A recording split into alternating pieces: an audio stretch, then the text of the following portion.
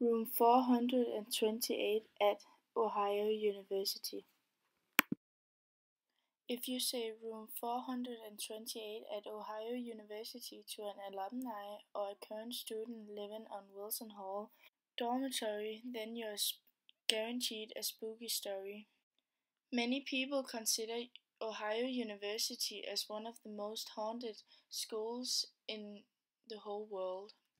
Only one year after Ohio became a state, the university was built, and the walls of Ohio University have witnessed a lot of tragedies. In the 1970s, a student lost their life, and that's when it all started. It happened to both men and women, but they agreed on the unexpected or unusual nature of death. A while later, a female student lived at the dorm. Some of her friends knew that she studied the unknown.